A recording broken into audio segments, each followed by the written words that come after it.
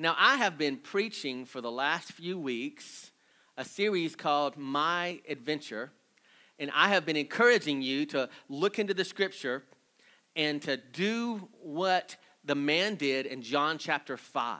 How that Jesus said to the man, Pick up your mat and walk.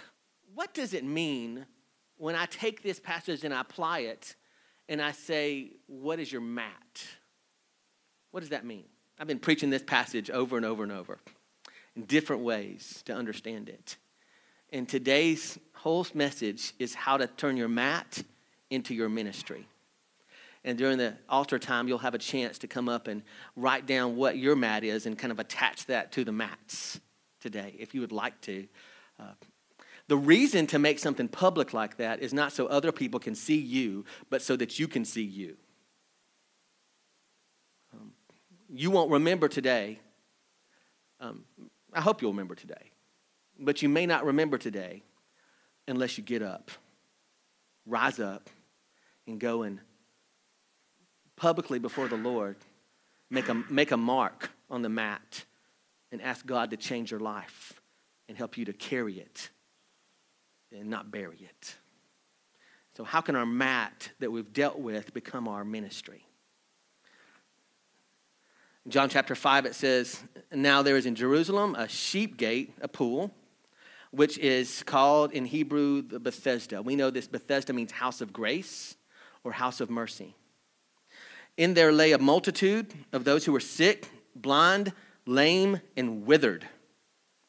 I love this translation because it says withered, because this makes me think about how in life we get dry, we get withered, we get uh, beat down, we deal with things so long. verse 8 it says, And there was a certain man there, and who had been there 38 years in his sickness. Now just hold on now. 38 years. Anybody here 38 years old?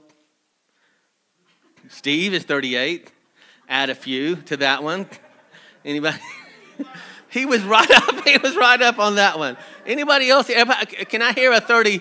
He was closest to 38. 37. Okay, okay. Matt, what'd you say?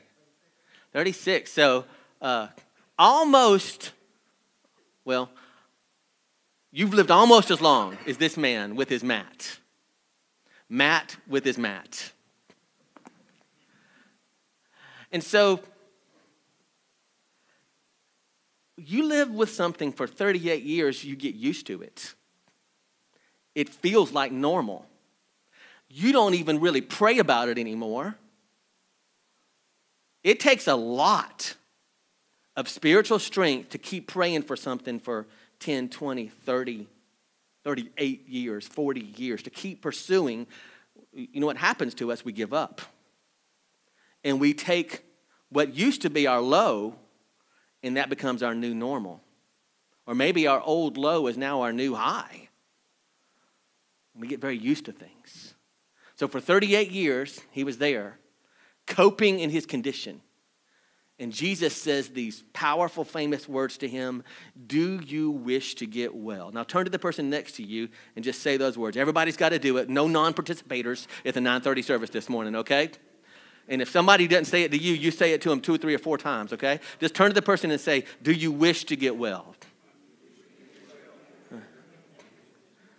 Okay, I think we got most people participating today, okay? Good. Good. You know what amazes me in life um, as a Christian and as a pastor and just as a believer, and probably amazes you too? The number of people that attend church services, it must be a lot in our country and in our world that attend church services week after week after week after week after week, getting up. They know they're going to go to church on Sunday morning. They, they're faithful Christians, they're church attenders, and, and they're there on Saturday night. They're thinking about Sunday morning. They get up Sunday morning, go to church on Sunday morning, and uh, they're all into it. But you know what must be devoid from a lot of people's thinkings? Any way, shape, or form that something is going to change me today. That I'm going to do something with God and God's going to do something with me and I'm going to get more well in a certain area. Now, what about us? How many of us came today coming into church with this mindset God's gonna change me today? God's gonna do something different in my life today. I've gotta have it today. I need it so much today. And I love this statement the more desperate the person, the more possible the miracle. The more desperate the heart, the more powerful the miracle, the more possible, the nearer you are to it. Because God tends, all through the scriptures, to work with people who are desperate when we're out of our own answers. And so, how many people came today, got up this morning thinking, I'm going to God's house, I'm gonna go with, be with God's people, and Jesus is gonna ask me if I wish to get well, and I'm gonna say yes. I don't think it was everybody. Let's just say it that way. I don't think it was everybody. Sometimes it's not even me. Then Jesus says to him, If you want to get well, get up. Say it with me. Get up. Pick up your mat and walk. Now, getting well is not the same as getting comfortable, is it? Getting well is not the same thing as feeling better. Now, this mindset, let's talk about churchianity just a little bit. Churchianity is that mindset that says, I'm going to the Lord, I'm gonna read my Bible, I'm gonna pray, I'm gonna go to church because bless God, God's gonna make me feel better. That's a whole lot of churchianity. And there's a place they put that mindset in heaven. There's a dump in the back of heaven. They just dump all that in, I think. There's nothing about following the Lord that we follow him in order to feel better, that we follow him in order to live more comfortably. In fact, I really do think it's the opposite. I think that getting well is about getting up even when you're in pain. Getting well is about picking up your mat even when it's heavy. Getting well is about walking even when you're tired, when you don't want to walk. And that's what I love about the church. And we're sitting here in rows today. It says that he was there 38 years in his condition. Now, let me tell you this everybody on your row has come today and is in a condition. And you are too. And I am too. Everybody sitting here has a condition. And it's not just because your hair looks so balanced and full of body and nice and conditioned. It's not that kind of condition, right? But you've come today in a condition. And Jesus is saying to all of us, hey there, you want to get well? I mean, I just don't know how, what kind of tone of voice Jesus said it in. Do you think he said, do you want to get well? I don't think it was that way, was it? Did he say, dost thou wishest in thine heart to be well? Or do you say it like the Terminator? Do you want to get well? I don't know how he said it. But I think he said it just in the way that man needed to hear it. And he's saying it to you and me this morning in the way we need to hear it. Did you come today with the mindset, Jesus, I want to get well? It's easier when your arm's broke to want to get well. It's easier when you got a headache to want to get well. It's easier when you got a backache to want to get well. It's easier when you got a virus to want to get well. But what about when you feel healthy? but you know there are some things that are not well with your soul. Oh, did somebody get that today? You know there are some things that are not well with your soul. It says, And the man at once was cured. He picked up his mat and walked. But I'll ask you this How did he know he could walk before he got up and walked?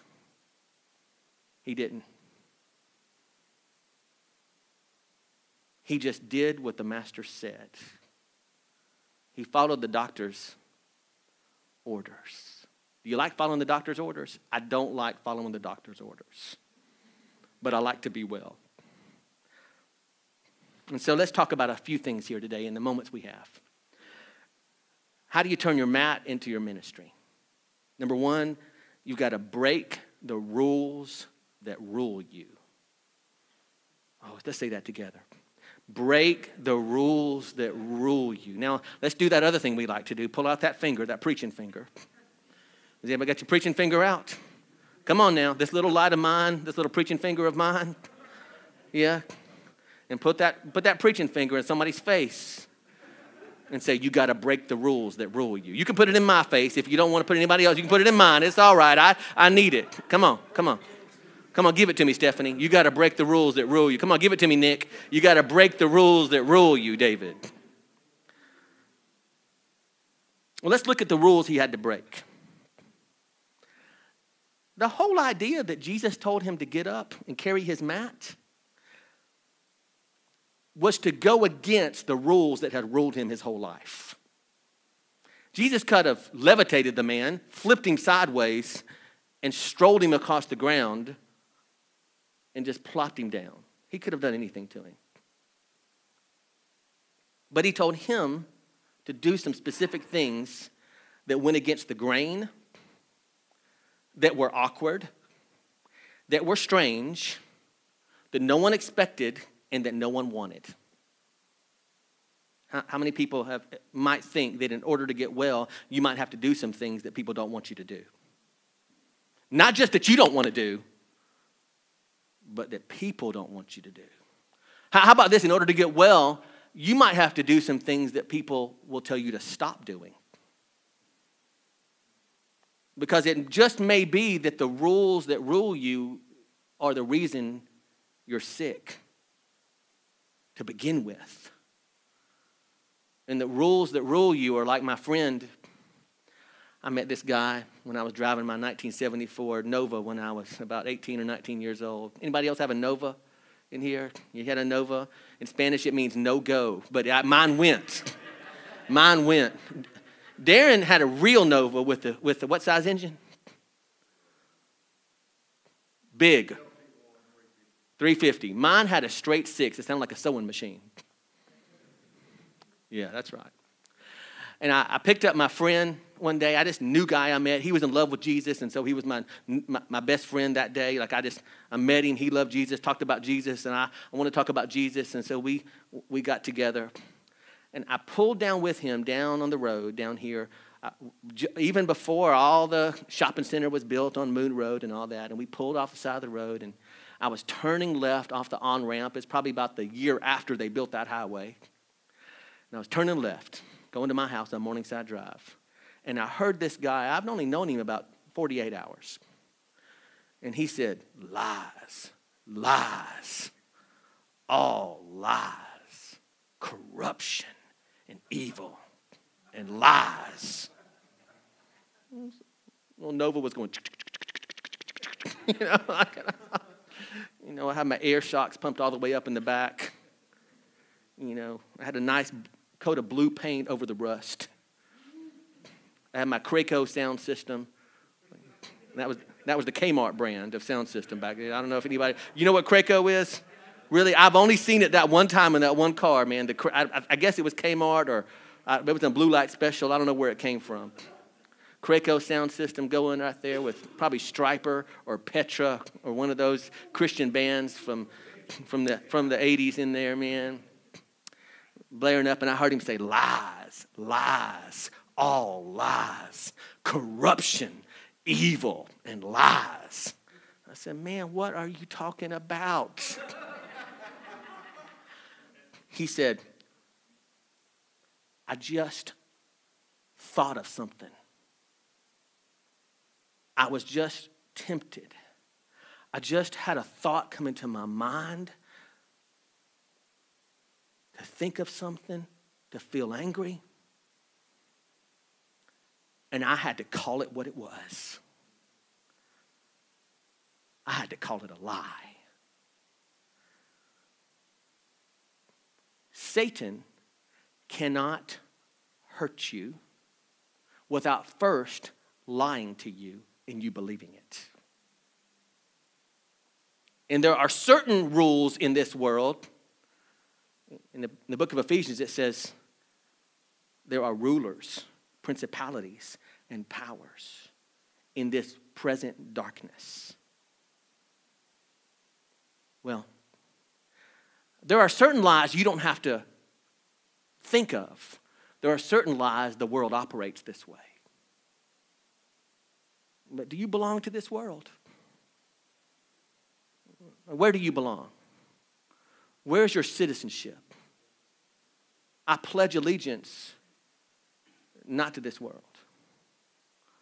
I pledge allegiance to my Savior and my Lord and my God. I'm a citizen first and foremost of heaven. The only thing they can do to me here on this earth is kill me, and if they kill me, it's a promotion. See, I, I live by a different set of rules. I had a seminary professor. He's, he's dead now. I checked on it. He's dead now. His name was Jess Moody. And Jess Moody, back in the 1950s, um, uh, in, in Baylor University down in Texas. Anybody ever been down to Baylor in Texas down there? You have, okay. Well, there was a Youth for Christ revival, and he preached on a Monday night, and an unknown evangelist named Billy Graham preached on a Tuesday night back in the early 50s. Jess Moody started, um, he started uh, Palm Beach Atlantic Christian University down in Florida, and uh, planted and grew and moved a church out in uh, California or in Los Angeles area. And I just loved listening to his stories.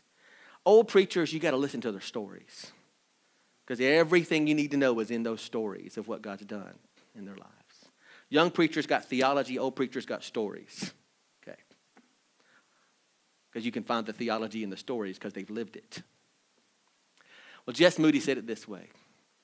He said, David, I just stay after class and just ask him questions, and he would just try to leave, and I keep asking questions. you know, you follow somebody all the way out to the car. Get away, son. You bother me. You bother me. You know. And Jess Moody said, You know, I've done everything in life I've ever wanted to do. Every dream I've had, I've accomplished. Everything God's placed in my heart, I've done. The only thing I haven't done yet is die. And I can't wait for that. I can't wait for death. Death will be a kick. That's what he said. He said, Death is going to be a kick. It's the only thing I haven't done yet. Break the rules that rule you. Doesn't that sound like the words of a man who had no rules over his life, holding him down, attaching him to this life? Well, on the day in which this healing took place, it was a Sabbath day. And so the Jewish leaders said to the man who had been healed, It's the Sabbath. The law forbids you to carry your mat. I'm teaching you and talking to you in these weeks about carrying it, don't bury it. Let it be the first thing. I'm not saying dump all your garbage when you meet somebody. I'm just saying stop hiding behind the idea that you have to be presentable in this life. You have to be presentable for the next life. They came to him and said, You can't carry your mat. Now, what's going to happen after this series, and you're going to learn these truths, you're going to get a lot of messages in your life that say, Don't carry that. Don't make that part of your life. Keep it down inside. Dirty laundry is dirty. See, the problem with that is this if you're ever going to really express yourself for Jesus, the only thing that can come out of you is what He's done in you. You can't minister through somebody else's life, you can't have somebody else's testimony, you can't have somebody else's past. You can only have your past. And since the past is 1000% forgiven, then that past now it doesn't no longer becomes the railway to the past. It flips over 180 degrees through the sky and lays down tracks into your future. Did anybody get that one? The same distance you've traveled in the past now become the highway into your future. There's going to be a lot of messages you're going to get in your life that are going to say this. Don't talk about that. Don't bring that up.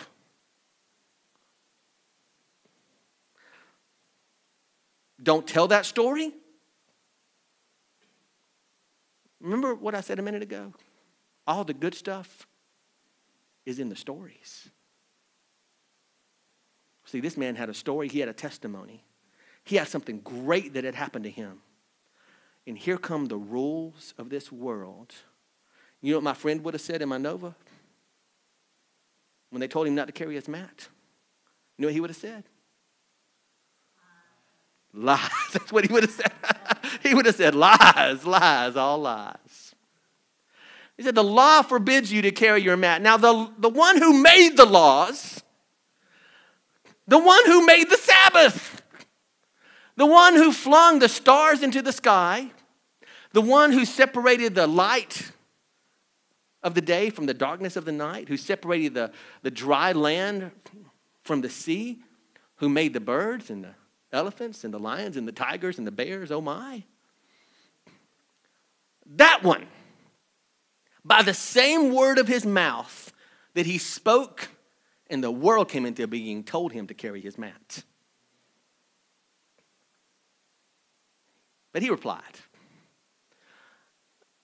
The man who made me well said to me, Pick up your mat and walk. You jokers have never helped me a bit. I've been laying beside this pool trying to get into this water with this old myth. You know, see, you can know that there's some religious manipulation going on when people start telling stories that don't exactly fit in to correct theology. We are not to depend on angels. We're not to depend on religious leaders. We are not to even depend on, quote unquote, the church to fix anything. Because all of that has people involved, right? And if there's people, there's going to be problems. I've been laying beside this pool for 38 years. You can't help me a bit. How do you know if it's a rule that's ruled you? if it's never helped you, it's never blessed you, it's never made you well. But we follow all kind of rules in this life to keep ourselves from feeling, make ourselves feel comfortable, make other people feel comfortable around us. Make other people not feel awkward. See, Sometime during this week, there's at least one of us in this room who have worked so hard and agonized to try to please somebody we didn't even like. We spend so much time trying to please people.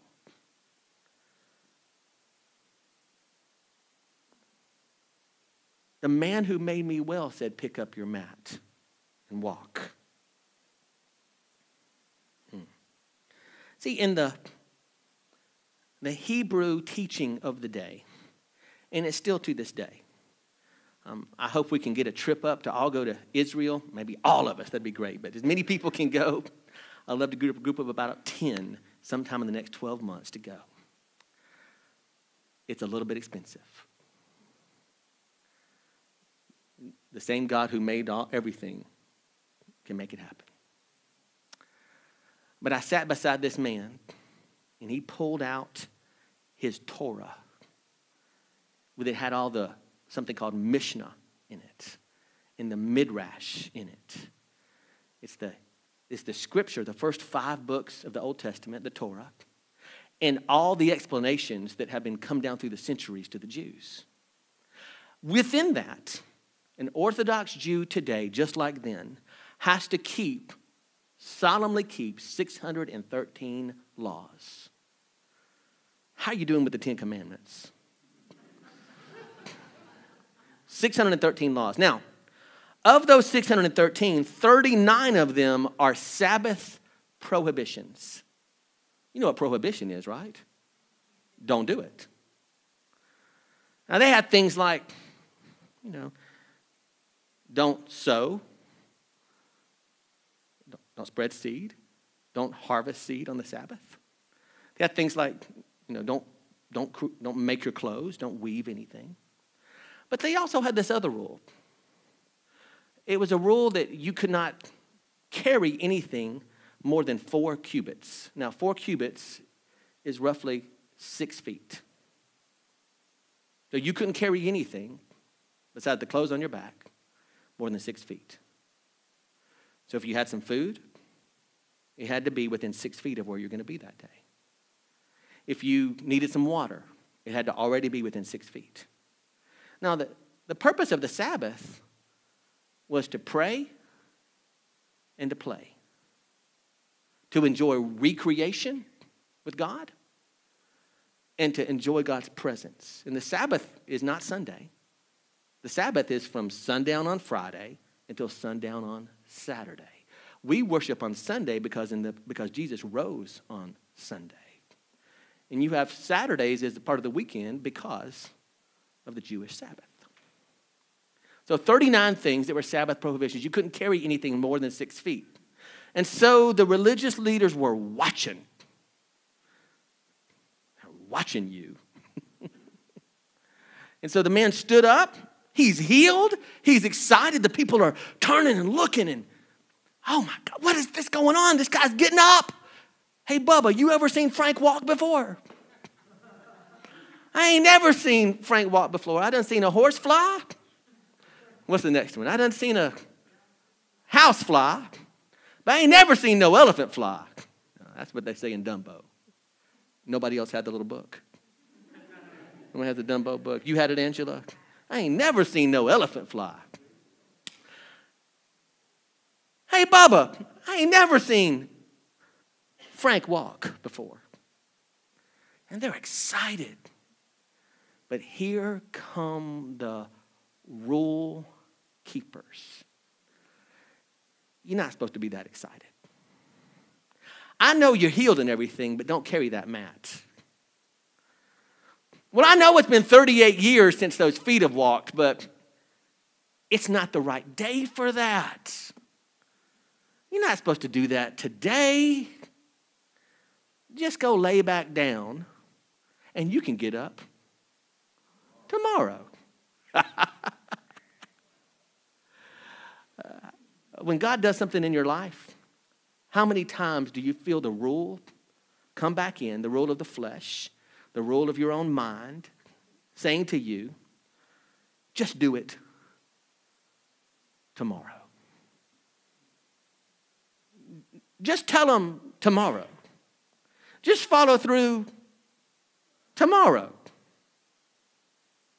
You can get up and walk tomorrow. The man who made me well said, Pick up your feet and walk. See, you've got this committee in your mind. Some rules from the world that are not God's rules. Some rules from the devil. You know, when God gives you a thought, that's called inspiration. But when the devil gives you a thought, that's called temptation. Some rules from the world, from the flesh, your own life. Some people give the devil too much credit. You know, you, you're sinning all by yourself. The world, the flesh, and the devil. You got this committee in your mind. The self righteous religious Pharisee living in your head that will never let you change. That tells you to go to church, but don't change. to hear the word, but don't do anything about it. You know, you, you know what it sounds like in your mind. Let me tell you what it sounds like. It sounds like denying, minimizing, justifying, rationalizing, and spiritualizing. Now, what's something that people can live in denial about? What is it? Addiction's one. What's another thing people can live in de- denial about? That was too easy. Because we know that one. What's another thing we can live in denial about?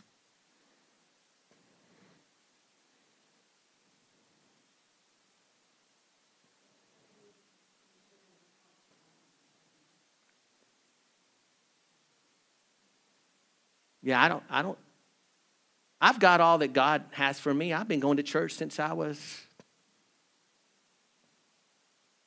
I've been going to church since before I was born.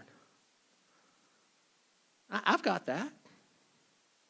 And look at that person over there. Now let's minimize that. Look at that person over there. They pray all the time. They, they're leading things in church.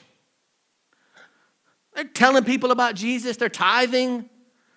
You don't have to do all that to be a Christian. You don't have to go to church. You don't have to do these things to be a Christian. Denying, minimizing. Is minimizing, was any of those things I said wrong? You don't have to do those things to be a Christian. But do you see how minimizing works? You see the lie involved. You see the lie involved. It's true, but it ain't true for you. It's true, but it ain't true right now. See, it's true, but that's not what Jesus is saying to you. That's the best way to say it. It's true. It's a rule. By grace you're saved through faith, yet not of ourselves. It's a gift of God. It's true. But for 38 years, we've been laying there. And we justify things, don't we? And our hearts get hard. And we rationalize things. And we say, I don't have to do it all the time. We spiritualize it and say, oh, I, I know what the Bible says about it. You know what spiritualizing is? It's like playing the God card. God hadn't told me that. You know why God hadn't told some of us that? Because we've been denying, minimizing, justifying, rationalizing, and spiritualizing. That's why God hadn't told some of us something. Me too. Don't worry, guys, we're not going past point one today. because human religion always prefers rules to relationship. I went to a conference uh, about 25 years ago now, and famous Christian teacher named Josh McDowell taught and he said these words about teenagers because he had so much going on to help people understand teenage culture in those days. And listen to this if you have any child or a spouse or a mama Rules without intimate connection and a deep relationship always lead to rebellion. Rules without intimate connection in a deep relationship always lead to rebellion. And for you and God, the rules that you want to keep as a Christian without an intimate connection with God, in a deep relationship with God, unless getting rid of some of that rationalizing, minimizing, justifying, denying, unless we kind of plow through some of that and face some of those reasons why I'm still down on my mat, always lead eventually to a cold heart that follows the rules, but is inwardly so sinful, so rebellious See, I, I sat next to Orthodox Jews on that trip. Keep the 613 laws, but no Jesus. There are people who are better than you morally that don't know Jesus. Better than me. It's really not about the rules, is it? You see what the man said? I know that's the rule, but the one who made me well told me to get up. Rule don't carry that mat. Relationship. The one who made me well said, Get up. There may be some rule keepers in this morning that need to repent for keeping the rules.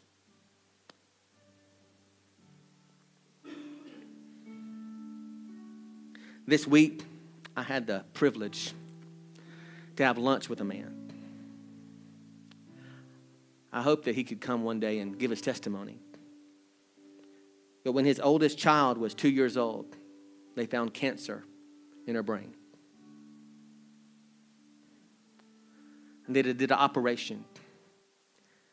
And he said that they were, they were shivering and shaking because he said, Me and my wife knew we didn't know God.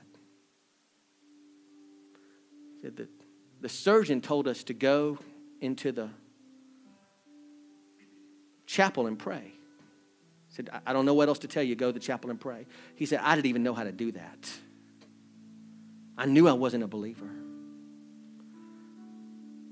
See, but my child pulled through the surgery and they told us she'd be paralyzed. He said, but I called back home and all my family members who were praying for me and praying for our family, they got up at 3 o'clock in the morning and went to our little community church and had a revival and prayed down on their knees all night long for my child to survive the surgery.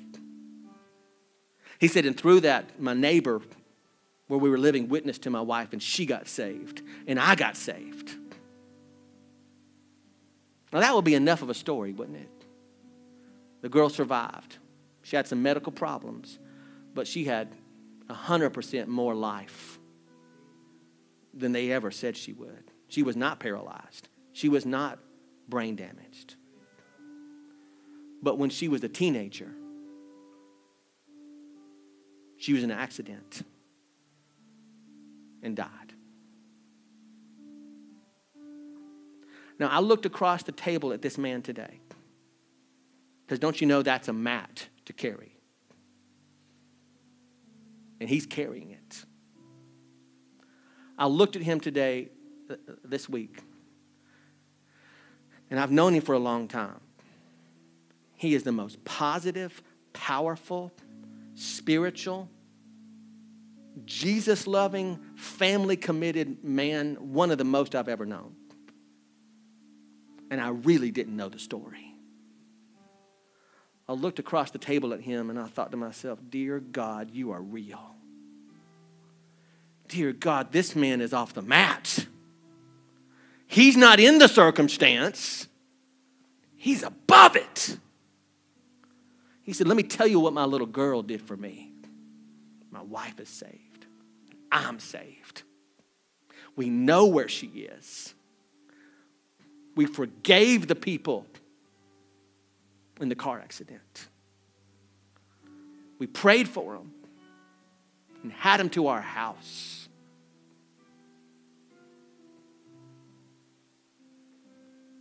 And I thought to myself, if this man can get up off the mat and carry that mat and walk with Jesus, what can I do? What can I do? He broke the rules that wanted to rule his life. It was pain, it was suffering, it was difficulty, it was doubt, it was despair. But those were just the three days in the grave. And for some of us, it may be Friday, but Sunday's coming. Resurrection's coming. You know what Jesus did when he was on that stone cold slab in that cave grave? He did the same thing. Oh my goodness. He did the same thing in that stone cold cave grave that he told the man to do in John 5. He got up, he picked up his body, he rolled away the stone, and he walked out, resurrected, powerful, and free. You know what you can do today? You can get up. You can pick up your mat you can walk out today powerful, resurrected, and free and say this it doesn't matter what happens to me because I'm powerful, resurrected, and free. Let's stand up together.